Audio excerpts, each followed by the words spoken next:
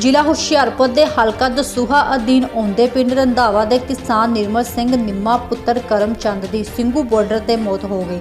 ਮਿਲੀ ਜਾਣਕਾਰੀ ਮੁਤਾਬਿਕ ਨਿਰਮਲ ਸਿੰਘ ਦੀ ਕਿਸਾਨੀ ਸੰਘਰਸ਼ ਦੌਰਾਨ ਅਚਾਨਕ ਸਿਹਤ ਖਰਾਬ ਹੋ ਗਈ, ਜਿਸ ਕਾਰਨ ਅੱਜ ਉਸ ਦੀ ਮੌਤ ਹੋ ਗਈ। ਮੌਤ ਦਾ ਕਾਰਨ ਹਾਰਟ ਅਟੈਕ ਦੱਸਿਆ ਜਾ ਰਿਹਾ ਹੈ। ਨਿਰਮਲ ਸਿੰਘ ਦੀ ਮੌਤ ਦੀ ਖਬਰ ਸੁਣਦੇ ਹੀ ਇਲਾਕੇ ਵਿੱਚ ਸੋਗ ਦੀ ਲਹਿਰ ਦੌੜ ਗਈ। Public support news focus bureau report ਲਈ ਗਈ ਸੀ ਦਿੱਲੀ ਸੰਘਰਸ਼ ਵਾਸਤੇ ਤੇ ਉਹਦੇ ਵਿੱਚ ਸਾਡੇ ਪਿੰਡ ਦਾ ਨਿਰਮਲ ਸਿੰਘ ਮੁੰਡਾ ਉਹਨਾਂ ਦੇ ਨਾਲ ਗਿਆ ਸੀ ਤੇ ਉੱਥੇ ਉਹਦੀ ਸਿਹਤ ਖਰਾਬ ਹੋਣ ਕਰਕੇ ਸੰਧੂ ਬਾਰਡਰ ਤੇ ਉਹਦੀ ਜਿਹੜੀ ਆ ਡੈਥ ਹੋ ਗਈ ਆ। ਉਹ ਦੋ ਭਰਾ ਸੀਗੇ ਤੇ ਇਹ ਮੁੰਡਾ ਅਨਮੈਰਿਡ ਸੀਗਾ, ਇੱਕ ਇਹਨਾਂ ਦੀ ਭੈਣ ਆ ਤੇ ਘਰ ਦੇ ਹਾਲਾਤ ਮਾੜੇ ਆ, ਜ਼ਿਮੀਂਦਾਰ ਕਿਸਾਨ ਸੀਗਾ, ਜ਼ਮੀਨ ਵੀ ਥੋੜੀ ਆ ਇੱਕ ਦੋ ਕਨਾਲ ਹਾਂਜੀ, ਇਹਨਾਂ ਦੀ ਜਿਹੜੀ ਸਿਸਟਰ ਆ ਉਹ ਵੀ ਵਿਧਵਾ ਆ, ਮਾਂ ਪਿਓ ਵੀ ਹੈ ਨਹੀਂ ਗੇ ਇਹਨਾਂ ਦੇ ਅਨਮੈਰਿਡ ਸੀਗਾ। ਇਹ ਤੋਂ ਛੋਟਾ ਭਰਾ ਜਿਹੜਾ ਘਰ ਦੇ ਹਾਲਾਤ ਕਾਫੀ ਮਾੜੇ ਆ। ਸਾਡੇ ਭਾਜੀ ਨਿਰਮਲ ਸਿੰਘ ਜੀ, ਉਹ ਅੱਜ ਸ਼ਹੀਦ ਹੋਏ ਆ। ਇਹ ਕਿਸਾਨੀ ਧਰਨੇ ਤੇ ਗਏ ਸੀਗੇ। ਅੱਜ ਇਹਨਾਂ ਦੇ ਹਾਲਾਤ ਬਹੁਤ ਹੀ ਨਸਦੀ ਬਣੇ ਹੋਏ ਆ, ਗਰੀਬੀ ਆ, ਭੈਣ ਆ, ਵਿਧਵਾ ਆ, ਆਪਣੇ ਤਿੰਨ ਬੱਚੇ ਆਪਣੇ ਭਰਾ ਦੇ ਸਿਰੋਂ ਪਾਲ ਰਹੀ ਸੀ। ਤੇ ਉਧਰ ਆਪਣਾ ਆਪ ਛੋਟਾ ਭਰਾ, ਉਹ ਵੀ ਉਹਨਾਂ ਦੇ ਸਿਰ ਤੇ ਸੀ। ਇਸ ਲਈ ਕਿ ਇਹਨਾਂ ਦੇ ਖਾਣ ਦੀ ਵੀ ਕੋਈ ਨਹੀਂ, ਆਪ ਕਮਾਉਂਦੇ ਸੀ, ਆਪਣੀ ਦਿਹਾੜੀ ਬੰਨਾ ਕੋਈ ਜ਼ਮੀਨ ਜਾਇਦਾਦ ਨਹੀਂ। ਸਿਰਫ ਇੱਕ ਆਪਣੇ ਹੱਕ ਦੇ ਲਈ ਕਿਸਾਨੀ ਧਰਨੇ ਤੇ ਗਏ, ਜਿੱਥੋਂ ਸ਼ਹੀਦ ਹੋ ਕੇ ਆਏ। ਅਸੀਂ ਤੇ ਇਹੀ ਕਹਾਂਗੇ, ਹੱਥ ਜੋੜ ਕੇ ਕਿ ਇਹਨਾਂ ਨੂੰ ਇਹਨਾਂ ਦਾ ਹੱਕ ਦਿੱਤਾ ਜਾਵੇ। ਕਿਸਾਨਾਂ ਨੂੰ ਵੀ ਉਹਨਾਂ ਦਾ ਹੱਕ ਦਿੱਤਾ ਜਾਵੇ। ਮੋਦੀ ਨੂੰ ਉਹਨਾਂ ਲਈ ਤਾਂ ਸ਼ਰਮ ਹੀ ਆ ਕਿ ਡੁੱਬ ਕੇ ਹੀ ਮਰ ਜਾਏ।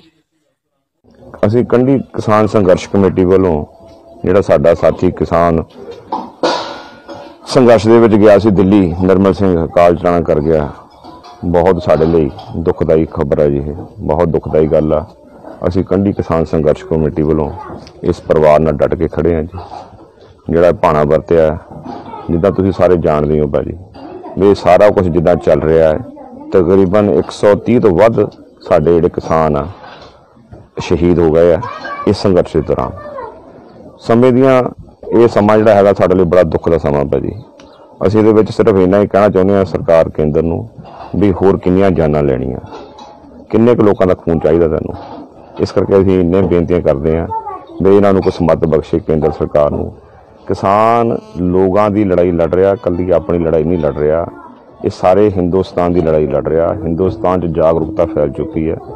ਸਭ ਲੋਕ ਸਮਝਦੇ ਨੇ ਕਾਨੂੰਨ ਮਾੜੇ ਨੇ। ਇੱਕ ਆਪਾਂ ਜਿੱਦ ਕਰਕੇ ਹੋਰ ਕਿੰਨੇ ਬੰਦਿਆਂ ਨੂੰ ਇਸ ਧਰਤੀ ਤੋਂ ਉਠਾਵਾਂਗੇ?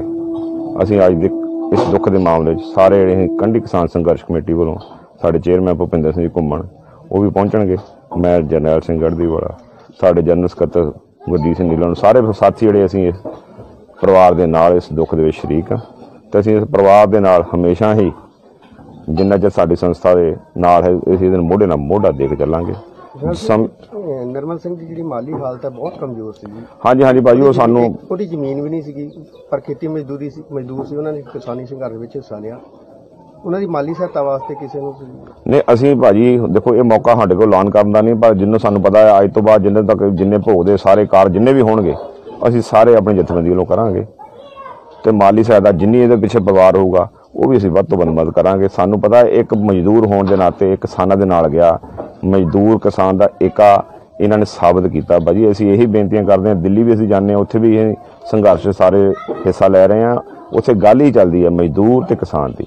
ਜਿਹੜਾ ਜੋੜ ਬਣਿਆ, ਗੁਰੂ ਮਹਾਰਾਜ ਇਹਦੀ ਆਤਮਾ ਨੂੰ ਤੰਦਰੁਸਤੀ ਬਖਸ਼ੇ, ਆਪਣੇ ਚਰਨਾਂ 'ਚ ਨਿਵਾਸ ਬਖਸ਼ੇ, ਪਰਿਵਾਰ ਨੂੰ ਪਿੱਛੇ ਭਾਣਾ ਮੰਨਣ ਦਾ ਬਲ ਬਖਸ਼ੇ। ਤੇ ਅਸੀਂ ਕੰਢੀ ਕਿਸਾਨ ਸੰਘਰਸ਼ ਕਮੇਟੀ ਵੱਲੋਂ ਇਸ ਪਰਿਵਾਰ ਨਾਲ ਡਟ ਕੇ ਸਾਥ ਦਿਆਂਗੇ। ਵਾਹਿਗੁਰੂ ਜੀ ਕਾ ਖਾਲਸਾ, ਵਾਹਿਗੁਰੂ ਜੀ ਕੀ ਫਤਿਹ।